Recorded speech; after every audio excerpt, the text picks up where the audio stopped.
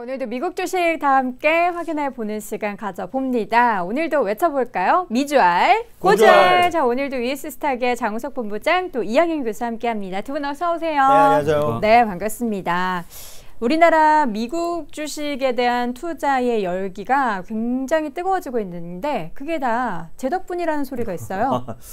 어, 그렇습니다. 여동훈 앵커가 이렇게 열심히 하시는 덕에 네. 많은 분들이 미국 주식을 투자하신다고 그러고요. 그렇죠. 예, 지금 시장 규모로 한세 배 정도가 커진 것 같은. 맞아요. 예, 예, 일단. 그걸 약간 이제 1.5배가 우리 장호석 본부장님, 그리고 네, 1.5배가 저, 그쵸? 예, 맞습니다. 교수님? 예. 저는 한 게 없죠. 그쵸. 숟가락 하나 없기 힘들죠. 그냥 이렇게 앉아 계신 거잖아요. 네, 그렇죠. 맞습니다. 오늘 네. 저희가 이제 네. 방송 전에 뭐가 있었어요. 그래서 제가 그 한을 좀 풀어보고자 이렇게 네. 얘기했어요. 두 분이 이렇게 미국 주식에 대해서 사실 이렇게 소프트하게 많이 말씀해 주시고 미국 주식에 대해서 조금 더 우리가 정말 그 장벽을 뭔가 허물었잖아요. 네, 그동안에는 그렇습니다. 어, 미국 주식이 뭐야. 뭐 기업도 모르겠고 사실 너무 생소한 그런 상황이었는데 많이들 요 또 프로그램 보시면서 그 문턱을 많이 뛰어넘으신 것 같습니다. 오늘도 여러분의 어, 약간 디딤판, 버팀목 역할을 해드리겠습니다. 매일매일 다른 주제로 이야기 나눠보고 있는 미주알 고주알 매주 월요일 이 시간에는 한 주 동안의 월가를 뜨겁게 달고 이슈 확인해보고 있고요. 화요일에는 미국 주식 알려드림이란 주제로 기업이나 ETF 분석, 수요일에는 가는 종목 알려드림이란 주제로 월가 추천 기업이나 ETF 분석해보고 있습니다. 목요일 이 시간에는 어, 우리 시청자분들의 미국 주식에 대한 궁금증 해결해드리고 있고요. 금요일에는 한 주 동안의 베스트 워스트 기업 세 종목씩 확인해보고 있습니다. 자 오늘 화요일 이 시간 이제 미국 종목 중에서 하나 볼 텐데 음, 이 종목은 저희가 너무 요즘 자주 말씀드린 것 같아요. 미주알, 아, 고주알의 네. 음. 어, 최애 종목 중 어, top 5 안은 충분히 되지 않을까라는 생각이 드는데 여러분 뭘까요? 맞춰보세요. 음. 오늘의 종목 저희가 코로나19가 발발되기 전부터도 그렇고 그 후에도 그렇고 계속해서 언급을 되게 자주 드렸던 종목이에요. 종목명이 네 글자고요. 어, 저도 한동안 굉장히 빠져 있었던 그런 플랫폼입니다. 자, 여러분 여기까지 말씀드렸으면 알 텐데 보잉, 시스코 아니네, 예 아니에요. 뭘까요? 뭘 봐요, 자꾸 그렇죠? 밤을 새요 이것 때문에 뭘까요? 이 정도면 이제 아 넷플릭스네 하면서 이제 바로 맞춰주셨습니다. 교수님, 네. 넷플릭스가 사실 되게 전화위복이 된 것 같아요. 이번 시기를 틈타서. 네, 맞습니다. 그쵸? 작년 이맘때만 하더라도 음. 주가가 막 떨어지기 시작했을 네. 때거든요. 왜냐하면 작년 3월쯤에 디즈니가 디즈니스 플러스를 한다고 발표했을 음. 때가 딱 요 언저리인데요. 네. 그다음부터 이제 경쟁자다 어쩌다 하면서 많이 재미가 없었는데요. 어, 오히려 이런 코로나 19를 겪고 전후가 되면서 물론 그 전부터 좀 반등했지만은요. 넷플릭스가 상당히 뜨고 있습니다. 어, 올해 들어서 주시장 전체적으로 재미없는 거 다 아실 것 같습니다. 올해 연초 대비 지금 주시장이 한 20% 정도 빠졌고요. 고점 대비 한 26% 정도 빠졌습니다. S&P 500 기준으로. 오늘 좀 본론으로 들어가기 전에 말씀드리면 넷플릭스는요. 오히려 한12% 플러스가 나 있고요. 직전 고점 대비 그러니까 지수가 25% 떨어져 있는 그 시점에서 지금 넷플릭스는 오늘까지 불과 3.4% 떨어졌어요. 그러니까 그만큼 거의 다 올랐다라고 보셔야 되겠는데요. 바로 말씀드렸던 세계 1위의 동영상 스트리밍 기업인 넷플릭스를 오늘 다시 한번 설명드릴 텐데요.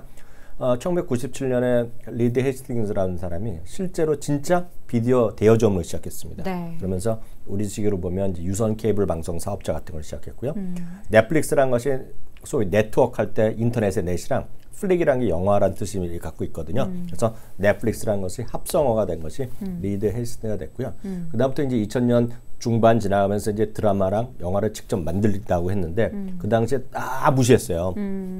야 비디오 대여업자가 무슨 감히 영화를 만드냐 이랬는데 소위 많이 보셨을 것 같아요. 하우스 오브 카드라는 거 하나로 세상을 뒤집어 놨죠. 그게 정치 관련된. 예, 백악관에 이제 정치 관련인데 계속 될 뻔했죠. 요- 시즌 6, 6, 7 계속 나가다가 결국은 이제 대통령 역할을 했던 사람의 소위 여성 배우와의 스캔들이 엮이면서 이제 중간에 어, 자- 작년으로 이제 끝났는데 여, 여하튼 하우스 오브 카드란 영화가 어, 넷플릭스를 현재 그 반열에 올렸는데 가장 큰 역할을 했던 건 사실 되겠고요.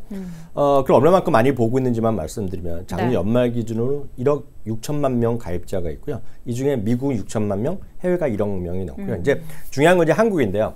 2016년에 처음 생겼을 때만 하더라도 수많은 사람들이 야 그거 누가 볼 게 없다 이런 얘기를 많이 하셨거든요. 콘텐츠가 예, 부족했으니까. 근데 요즘은 쉽게 얘기해서 미스터 트로트 여기서 보신 분이 넘쳐 나오고요. 음. 수많은 드라마 요즘 보면 JTBC나 뭐 이런 쪽에 하는 거, TVN도 여기서 많이들 동시에 많이 하잖아요. 바로 올라가요. 예, 많이 올라오는 게 많이 있죠.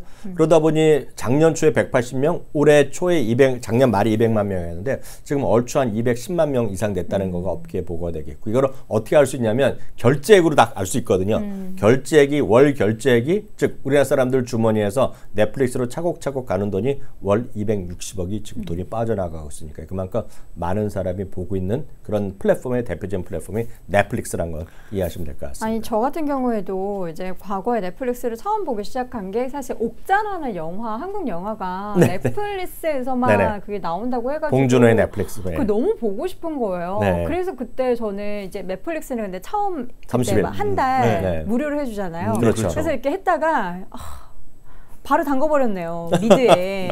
그래가지고 제가 네. 좋아했던 미드 저는 수트라는 미드가 있어요. 알죠. 변호사 네. 뉴욕의 변호사 이야기. 네, 네. 아그 거기 하비 스펙터가 너무 네. 또 멋있어가지고 또 네. 그거에 한창 빠져서. 네. 근데 그 안 좋은 점이 뭐냐면 주말이 순삭된다는 거예요. 아, 그렇죠. 예. 그래가지고 제가 참 어려운데 요즘에는 또 한국 드라마 중에서 넷플릭스에서만 볼 수 있는 드라마 중에 엄청 또 유명한 드라마가 있던데요. 이게 킹덤이 바로 음. 이제 세상을 바꾼 네. 계기가 됐죠. 이제 킹덤이란 것이 이제 어찌 보면 아, 저런 거 누가 보냐 하지만 결국은 한국판 소위 어 그 좀 죽은 사람이 살아나는 뭐 이런 거로 간 음. 사실 거 아니에요? 저는 안 봤어요. 예, 네. 음. 그 싫어하시는 분이 게, 많이 계시죠. 특히 여성분들 이렇게 싫어하시는 분 계시겠지만 어떤 그런 걸 좋아하시는 좀비류를 좋아하는 분이 있겠고요. 음. 특히 이제 아시아판 좀비 중에 최고라는 것 그리고 여기 이제 음, 주 그 이름 뭐죠? 그 남자 주인공이요. 주지, 네, 주지훈. 주지, 네, 주지훈이 쓰- 쓰고 난 갓이 있지 않습니까? 네. 갓이 히트를 친 거예요. 그래서 그 아, 유럽 맞아. 그게 그또 아마존에서 엄청 팔렸다고. 네, 유, 유로 그 유럽에서 엄청 히트 친 겁니다. 왜냐면 네. 우리나라는 모자 문화가 아닌데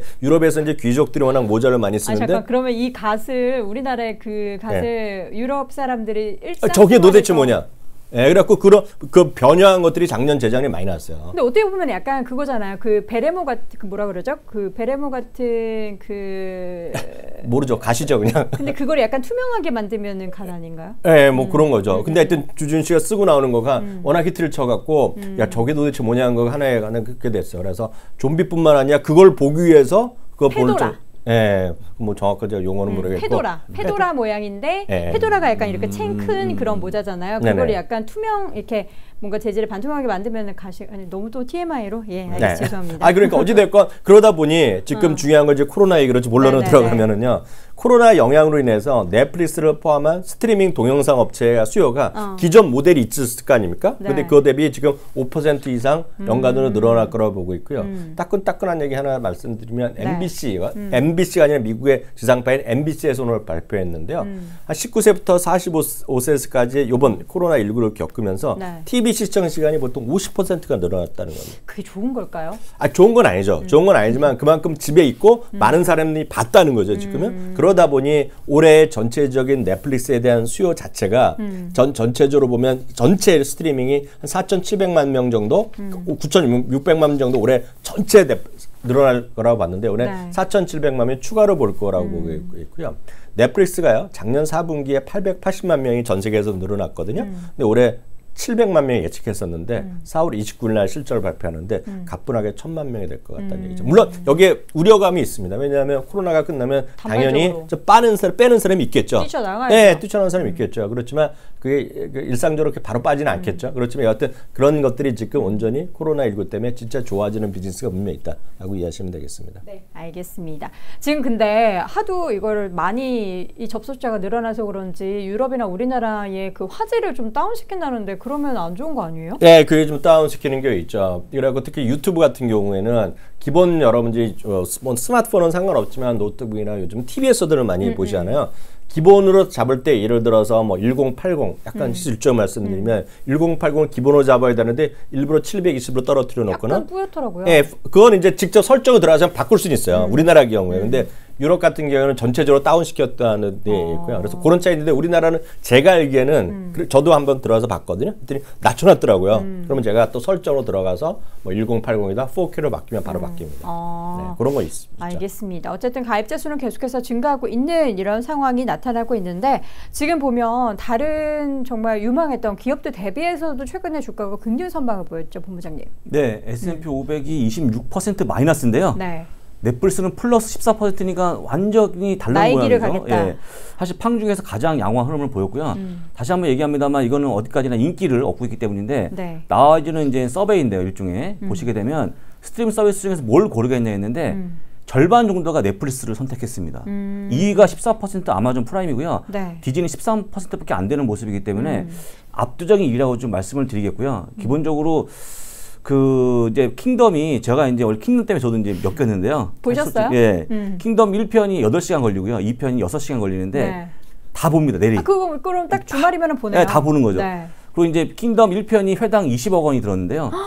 2편이 회당 30억이 듭니다. 아니 뭘 그렇게 많이 들어요? 그러니까요. 별것도 아닌데요. 그죠? 이게 배우진의 그 개런티가 뭐 그것도 있죠. 거 그것도 아니죠? CG 가 있지만 많이 들어가죠. 예, 좀 CG가 많이 아. 들어가는데 이게 무슨 얘기 말씀드린 거냐면 대부분 이런 내용이거든요. 아, 좋아. 인기 좋은 건 좋아. 그 다음에 구독자가 늘어나는 건 좋은데 음. 돈을 벌어서 전부 다 제작에 쓰다 보니까 음. 이게 무슨 뭐가 남는 거냐라고 많이 물으신 게 넷플릭스에 대한 우려인데요. 다음 페이지 좀 보여드리면 네. 제가 어, 일단은 그걸 얘기할 때 오른쪽에 있는 그림이죠. 지금 이제 지금은 아니지만 한 음. 네. 2년이 지나면 일단은 이제 우리가 현금이 좀 늘어난다는 그런 음. 모습을 보여주고 있고요. 어, 가장 이제 우려되는 게 뭐냐면 무료 이용 기간이 한 달이 진행되지 않습니까? 제가 저거를 네. 가족들 명의로 다 한 번씩 했어요. 그러니까 한 달쯤 되면 전화가 와요 와이프도 이거 어떻게 할까 끊어야 되나 아. 말아야 되나 저는 이제 계속 보고 있는데 어쨌거나 이제 해지하는 분들 꽤 계시겠죠. 네, 맞아요. 예, 하지만 그리고 쉐어해서 보거나 그렇죠 쉐어에서 보죠. 음. 그러니까 최대한 이제 가성비를 올리는 건데 그럼에도 불구하고 남아 있는 분들이 많다 즐, 어, 즐겨 본다고 좀 보면 될 것 같고요. 그다음에 경쟁이 치열해지고 있죠. 근데 음. 네. 사실 디즈니하고는 격차를 좀 벌려가고 있는 모습이기 때문에 약간 제가 결이 보- 다른 예, 것 같아요. 음. 다르죠. 음. 다릅니다. 제가 이제 어, 사실은 이제 여러 가지 보는데 보통 누워서 제가 혼자 보는데요. 음. 그 이게 뭐 뭐냐면 약간 가족적인 어떤 그런 거 말고 잔인하다, 폭력적인 게 많기 때문에 저는 이제 약간의 그런 게 필, 필요하지 않습니까? 음. 왜 심심하다 보니까. 그래서 일단 그런 것들이 좀 도움이 된다고 얘기하고 있고요.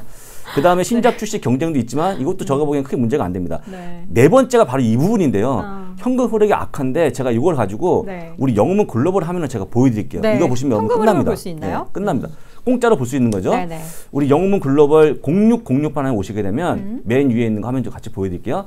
일단 위에가 에, 일단 주가죠. 음. 주가인데 지금 보시는 밑에 있는 보라색이 매출의 모습이거든요. 네. 매출 계속 올라가죠. 왜 올라가냐? 그쵸. 가입자가 증가하고 이거 공짜 그럼요. 가입자가 아니잖아요. 네. 증가하다 보니까 매출 올라가고 있는데 지금 맨 초록색. 밑에 있는 게 잉여 현금이거든요. 어, 현금은 현금은 나빠지고 있어요. 지금- 그러니까 예. 근데 지금 같이 위험한 시기에 사실 현금 많아야 되는데 넷플릭스는 돈을 너무 많이 쓰고 그런데 있네요. 아시겠지만 넷플릭스가 바보가 아니지 않습니까? 음. 어느 정도까지 시장을 넓힌 다음에 그 다음부터는 이익을 가져가겠죠. 어. 그 지금은 약간의 격차를 벌릴 시기다. 투자할 시기. 저 우리 우리, 우리 교수님 아시죠? 교수님이 제일 좋아하는 말이 초격차를 많이 많이 쓰시거든요. 초격차. 음. 벌릴 때 벌려는 얘기죠. 아, 지금 벌릴 따라오지 때문에 못하게? 예. 지금 벌릴 때이기 때문에 벌렸지만 아까 얘기했지만 2년 3년 정도가 지나면 어. 그렇게 안 할 겁니다. 어. 그럼 이제 성금이 쌓이겠죠. 아예 이제 예. 벽을 진입장벽 확 높게 키워놓는 그렇죠. 거군요. 여러분들이 굉장히 좀 어, 의아하겠지만 음. 넷플릭스 혹시 그 할부 그러니까 현금을 안 내고 음. 다른 방법 보시는 분 계세요? 무료 이용이 아니고 없잖아요. 쓰는 무조건 거 들어가지 않습니까? 네. 현금이 들어가기 때문에 이들 기업은 그냥 가만히 앉아서 돈을 버는 구조고요. 음. 킹덤을 100만 명이 뭐 1000만 명이 본다고 해서 뭔가 테이프가 끊어지거나 늘어지지 않잖아요. 쉽게 얘기하면. 예. 네. 그래서 만들어 놓으면 어. 돈이 계속 벌리는 구조이기 때문에 아. 이거는 진짜 과도한 우려라고 좀 다시 한번 말씀드리겠고 제가 보기에는 올해부터는 음. 돈을 모아가는 쪽으로 가지 않을까 생각이 듭니다. 얘기로는 소문일 수도 있지만 넷플릭스에 이제 광고가 붙을 수도 있다. 뭐 이런 얘기까지 아, 있는데 예, 광고 얘기는 매번 그 주장이 나오고 특히 네. 애널리스트 사이에서 이런 거 해야지 돈을 벌 수 있다 얘기하는데 근데 돈 내고 광고 나오면은 예, 화날 그것 같아요. 아무도 모르는데 직전 그 컨퍼런스 콜 할 때 네. 리드 헤이스팅스 우리 형님께서 네. 언급했어요? Never다 never never. 예, 그런 거 아. 없다 말씀하셨는데 맞아요. 모르죠 세상이 바뀔지 모르니까 그렇죠. 절대적으로 네. 지금은 안 한다 뭐, 그랬습니다. 음, 불가한 건 없으니까 이제 현금이 필요하면은 약간 이제 기본적으로 뭐 만 원이었던 걸 오천 원으로 낮춰주고 광고를 봐라 뭐 이런 식으로 할 수도 있으니까 또 절대적으로 없는 건 없기 때문에 음, 이 부분은 지켜봐야 될 것 같고 그래서 이 넷플릭스에 대한 최근의 의견이 또 어떻게 좀 네, 변하고 의견 있는지 예, 말씀드리겠습니다. 어제 음. 밤에도 나왔습니다. 하나가 선트러스에서 일단 매수 의견을 제시하면서 네. 402달러를 제시했고요. 음. 아까 교수님 말씀하셨지만 어, 신규 가입자 950만 명을 예상했기 때문에 1000만 명 정도 들어올 것 같다고 좀 보시면 될 것 같고요. 지금 전체적으로 보시게 되면 RBC부터 400달러 이상을 잡고 있는 게 굉장히 많습니다. 음. 특히나 이제 강력 매수경이기 때문에 제가 보기에는 그냥 만약에 지금 당장 주식을 사기 뭐한 분들은 아, 강력하게 넷플릭스 다시 한번 말씀드리겠고요. 넷플릭스는 집콕주라고 저는 게 약간 좀 불만스러운데 이게 아니어도 원래 갈 수 있는 종목이기 때문에 음. 다시 한번 강하게 말씀드리겠고 특히 한국 내 가입자가 지금 다섯 배 정도 증가하는 그런 모습 보였거든요. 한국도 이제 예, 한국도 네. 그러니까 일단은 음. 제가 보기에 어, 지금 영화 개봉도 넷플릭스 통해서 할지도 모르지 않습니까? 그쵸, 그쵸. 그러다 보니까 이제 넷플릭스에 대한 관심이 커지기 때문에 음. 이런 정보도 하나 가져가는 게 좋을 것 같습니다. 음. 컨텐츠 관련해서 이 사실 플랫폼이라는 것을 굉장히 가장 많이 키워놓은 회사가 이 넷플릭스라는 곳입니다. 디즈니라는 어, 새로운 대항마가 나타났음에도 불구하고 또 관련한 컨텐츠의 내막을 좀 들여다보면 또 그 결이 다르기 때문에 넷플릭스의 이러한 독주가 과연 언제까지 이어지게 될지 계속해서 지켜보셔야겠습니다. 자 오늘 미주얼 고젤의 시간 넷플릭스에 대해서 확인해봤습니다. US 스탁의 장우석 본부장 또 이양현 교수 함께했습니다. 고맙습니다.